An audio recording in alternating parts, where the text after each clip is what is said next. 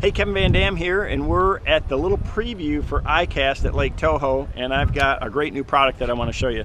This is the new uh, Team KVD combo bait cast rod and reel, and the great thing about this is we've got a lot of performance features built at an unbelievable price.